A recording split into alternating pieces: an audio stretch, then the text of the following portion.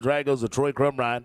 Troy Crumrine will be on board the Docs Moonpie. Here's a horse owned by Edwin Cameron and Tiani Schuster. Here's a Docs Getting Reckless out of the Ultima, uh, Ultimate Miracle, which goes back to Ultimate Force.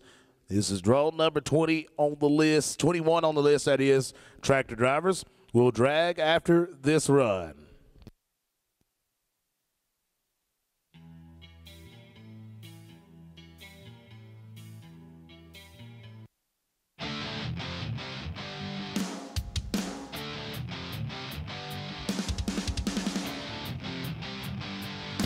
Sadoc's Moon Pie and Troy Crumrine will be awarded a 16074 16074 when we